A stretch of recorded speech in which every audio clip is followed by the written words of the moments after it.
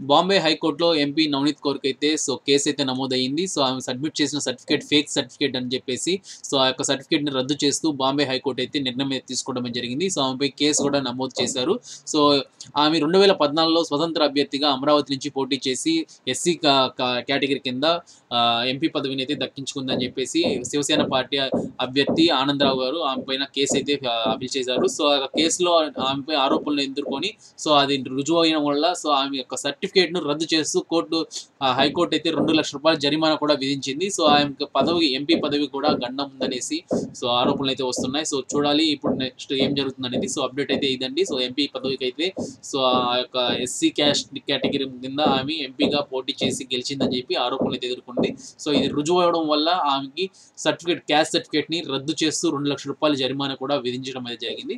So ఇదండి update అయితే. So video మీకు నచ్చింది అనుకుంటున్నాను వీడియో నచ్చితే లైక్ చేయండి. ఇంకా మన ఛానల్ సబ్స్క్రైబ్ చేసుకోకపోతే సబ్స్క్రైబ్ చేసుకోండి.